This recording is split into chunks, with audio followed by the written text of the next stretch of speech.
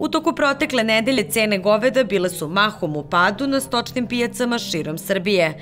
Tovne svinje bile su jeftinije u Požarevcu, Novom Sadu, Pančevu i Kraljevu. U Loznici su poskupela jagnjad na 250 dinara po kilogramu, dok su se u Nišu prodavala za 280 dinara, što je bila niža cena u odnosu na prethodni period. Tovljenici od 80 do 120 kg su u Loznici koštali 140 dinara. U Nišu su poskupela ovce na 170.